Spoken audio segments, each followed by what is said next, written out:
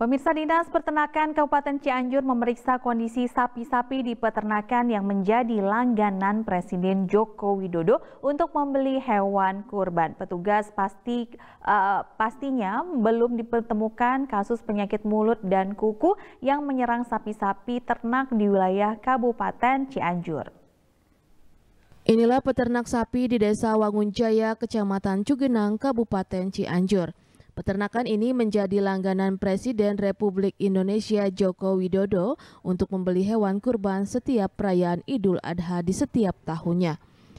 Hewan kurban yang dipesan biasanya jenis limosin dan simental dengan bobot tak kurang dari 1,2 ton.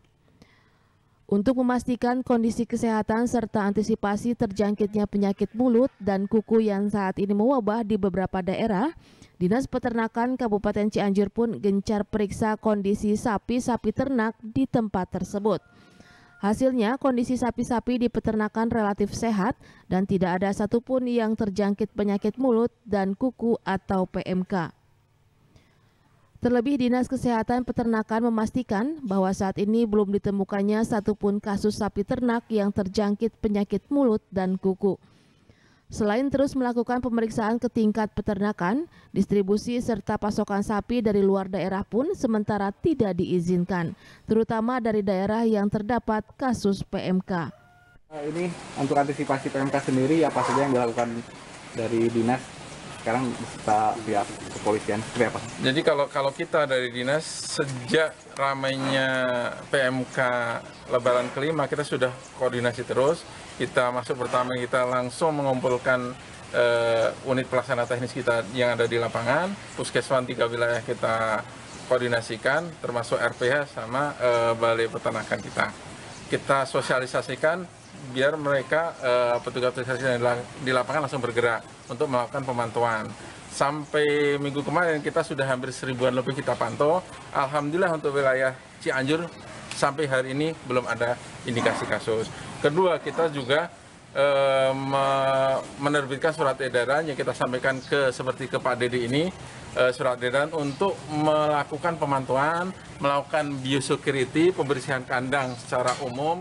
Penyakit mulut dan kuku memiliki gejala khas seperti demam tinggi hingga susah makan. Secara fisik, hewan ternak yang terjangkit PMK bisa terlihat dari kondisi sapi yang mengeluarkan air liur berlebih sampai lesi pada bagian lidah, gusi, dan kuku. Sementara untuk terus menjaga kondisi hewan ternaknya dalam kondisi sehat, pihak peternakan terus tingkatkan kebersihan dan disinfeksi area peternakan serta yang tak kalah penting pemberian pakan yang baik serta vitamin bagi hewan ternaknya. Untuk menghadapi perayaan Idul Adha nanti, pihak peternak diminta untuk tetap berkoordinasi dengan Dinas Peternakan dalam memonitor kondisi sapi-sapi ternaknya. Terlebih hewan kurban yang akan didistribusikan harus dinyatakan sehat dan bebas dari berbagai penyakit, terlebih penyakit mulut dan kuku. Ini kan setiap tahun untuk Idul Adha biasanya Pak Jokowi pesen ke sini uh, jenis sapi seperti apa sih biasanya? Kalau biasanya sih dari udah dua kali kita pengiriman ke istana itu uh, limosin sama simental. Nah, uh, kenapa mungkin Pak Jokowi lebih ke sini dibanding ke tempat yang lain yang ada di Cianjur? Karena mungkin di sini satu perawatannya juga uh, uh, sangat baik. Terus kita juga pemberian formula pakan yang sangat uh, baik juga. Terus pemberian vitamin sama buah cacing per tiga bulan sekali. Masih relatif aman, pihak peternakan pun berharap tidak ada kasus terjangkitnya penyakit pulut dan kuku yang menyerang hewan ternak di wilayah Kabupaten Cianjur. Terlebih menghadapi Idul Adha nanti, permintaan hewan kurban khususnya sapi selalu mengalami peningkatan, baik permintaan dari dalam maupun luar daerah. Heri Setiawan, Bandung TV